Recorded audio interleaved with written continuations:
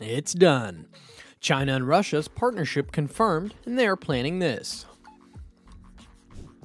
Russia's relations with the West may be strained, but in the East they are flourishing.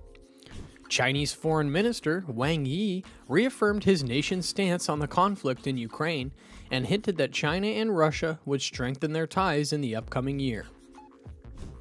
Wang also blamed America for the deterioration of relations between the world's two largest economies.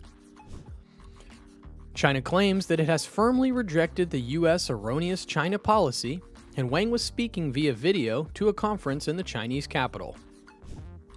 Is China forced to pick between allies? What is China's response to the request from European authorities to condemn Russia's incursion? What are the future plans now that the relationship has been confirmed? Are the US and EU concerned about the alliance between China and Russia? In any case, they are not shocked by this collaboration. They have been waiting for this ever since Putin visited Beijing for the Winter Olympics. We'll talk about why, despite the fact that China's economic future still depends on American and European markets and technology, China decided to support Russia. Wang declared that China and Russia would deepen strategic mutual trust and mutual beneficial cooperation. According to an official transcript of his statements, he added, with regard to the Ukraine crisis, we have continuously kept the fundamental values of objectivity and impartiality without supporting one side or another, adding gasoline to the fire, much less seeking self profits from the situation. Although Wang admitted that history has demonstrated that China and the United States cannot decouple or sever supply networks, leader Xi Jinping is pushing for Chinese industry to become more self sufficient. He asserted that this was because the United States has steadfastly continued in considering China as its major competitor and engaging in open blockade, oppression, and provocation against China. In its relations with the US, China would seek to right the ship, Fu Cong recognized that the Ukrainian crisis is becoming a concern for our bilateral relations with the EU, even though Beijing doesn't feel like it should be much of an issue or much of a problem.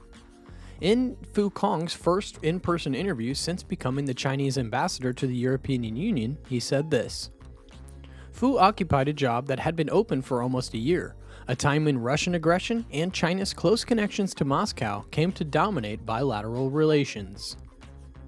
European officials have asked that China condemn Russia's incursion and use its influence to help put an end to the conflict.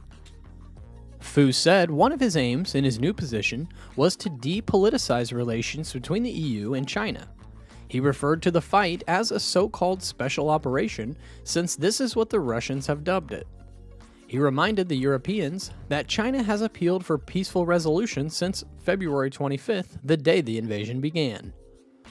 On the second day after the operation began, and Chinese President Xi had a crucial phone conversation in which President Xi vehemently defended the need to attempt to find a peaceful solution. People usually forget that, Fu said. He claimed that China had no incentive to continue the war and was not gaining anything from it. We consider ourselves to be, if you will, collateral damage from that catastrophe. We don't want to pick between friends because Russia and Ukraine are both good allies. That is the foundation of China's position, according to Fu.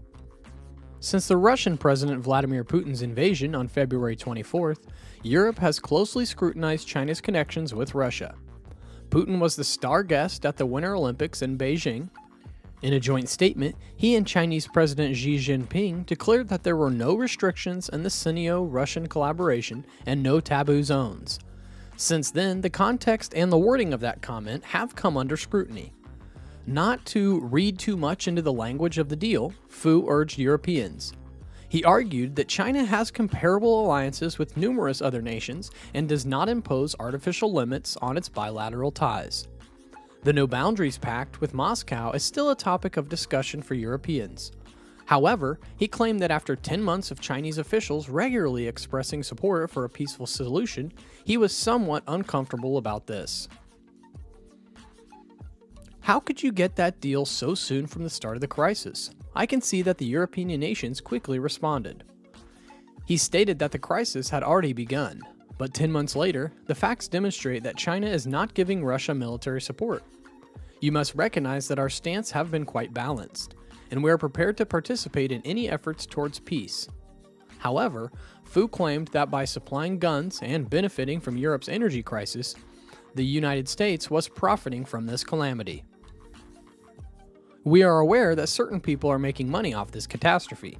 They are selling a sizable number of weapons. We also know who is profiting from the energy crisis that the European countries have suffered, but with regard to the knockoff impacts of that crisis. We will support all efforts in this regard, but the most crucial thing is to put an end to the violence and secure a ceasefire in order to save lives. We are aware that some countries or individuals with certain countries do not want to see the hostilities end, and we do not believe that is correct, Fu stated. When asked if he thought the US did not want the war to end, Fu replied, That is our view. Requests for comment from the US government were not answered. Fu gave an example of the Comprehensive Agreement on Investment. When asked why Beijing does not open its own markets to European corporations in exchange, Beijing cites a stagnant agreement with the EU that would have opened several areas of the Chinese economy. Why shouldn't the Europeans ratify the Comprehensive Agreement on Investment if they were so worried about the market access in China? We're prepared to expand on that, adding that China would continue to open up, as seen by the recent Communist Party national meeting. That was a crucial first step, Fu stated. Last year, the CAI was halted by tit for tat sanctions that were initially imposed by the EU due to Beijing's alleged violations of the human rights of the Uyghur minorities in Xinjiang. Fu denied that there were any issues with human rights in the area and claimed that the justification for the EU's sanctions were based on a lot of misinformation, some of them downright lies and fabrications. Then, Beijing placed retaliatory penalties on diplomats, academics, and parliamentarians from the EU. Beijing would lift them. We are prepared to put the past behind us. How about removing the sanctions all at once? he said. Nabila Massrali, foreign policy spokesperson for the EU, stated that we never comment on the decision making process on sanctions. Because of your difference on China with some particular human rights issues, are you willing to abandon a sizable market like China? We will continue to call on China to follow its national and international duties and to respect human rights, she added. All decisions about sanctions are adopted by member states in the Council, and the Council's adoption of such resolutions is by unanimity. Russian President Vladimir Putin presided over the opening of the significant new Siberian gas field in order to support a planned increase in supplies in China. The Power of Siberia pipeline, which transports Russian gas to China, will receive feedstock from the Khoisovo gas field. It is the largest in eastern Russia, with 1.8 trillion cubic meters of recoverable reserves. As a result of the conflict in Ukraine, the European Union is reducing its reliance on Russian energy, Therefore, the launch is a part of Russia's effort to shift gas exports to the east. As an important event for Russia's oil sector and overall economy, Putin praised it. The power of the Siberia pipeline, which began supplying roughly 10 billion cubic meters of gas to China towards the end of 2019 and is expected to reach its maximum capacity of, of 38 billion cubic meters in 2025, was used to transport natural gas from Russia to China. Beijing's third largest gas supplier is now Russia. Putin and Chinese officials signed an agreement in February to sell 10 billion cubic meters more of gas to China from Russia's far east via a new, more compact pipeline running through China's northeast. Russia also intends to build a Power of Siberia 2, a significant pipeline that will pass through Mongolia with a view of selling an additional 50 million cubic meters of gas annually. The projects, according to Putin, will enable Russia to increase its gas sales to China to 48 billion cubic meters by the year 2025 and to 88 billion cubic meters by 2030. Dmitry Medvedev, the former leader of Russia, paid an unexpected visit to China, and he met with President Xi Jinping. Medvedev claimed that they covered no limits strategic relationship and that the two nations proclaimed in February.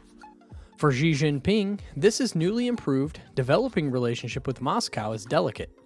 For a few decades, the relationship hasn't always been cordial. However, he and other Communist Party leaders can now assist Moscow more And Vladimir Putin is aware that he can rely more and more on China, the world's second largest economy. Do you think China is taking the wrong position?